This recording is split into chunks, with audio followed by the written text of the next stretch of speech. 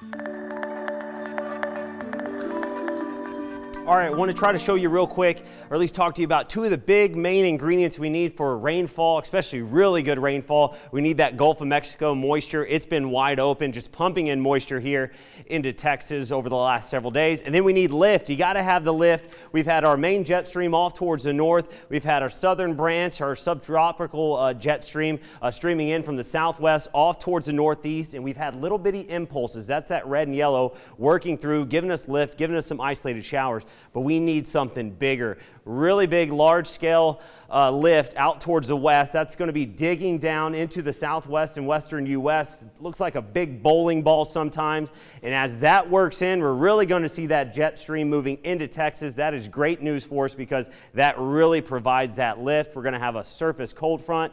And again, you got to have something take that warm, moist air and push it up and help uh, produce some uh, rainfall for us. And that's what we've had in the wave of these little bitty disturbances moving through the last couple of mornings. And again, talked to you last night, we'd see some energy working in from Mexico, lifting to the northeast. Unfortunately, again, a lot of it would stay just outside of the heart of central Texas but our northwestern zone saw some of those isolated showers. We'll see some more rainfall, another uh, disturbance, little energy out towards the southwest, starting to see some returns out there. We'll be lifting off towards the northeast overnight tonight.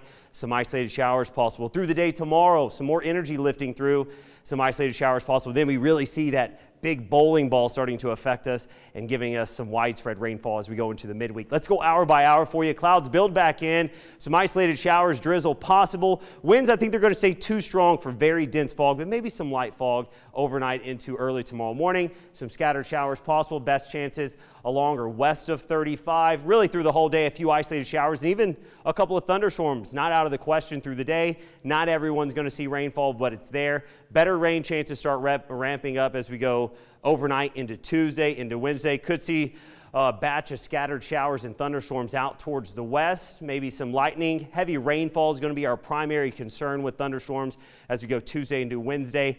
Maybe some gusty winds and some small hail at times. We'll keep watching that for you. Scattered showers and thunderstorms stay with us off and on into the day on Tuesday. Tuesday night into Wednesday, cold front moves in, really provides some good lift for us, and widespread scattered showers and thunderstorms going to be hanging with us looking possible. Right now, just going 60%. Look for some of these to maybe bump up as we go through the next couple of days. Meteorologist Megan Massey will have an update for you as we go into Wednesday, Tuesday, or Wednesday.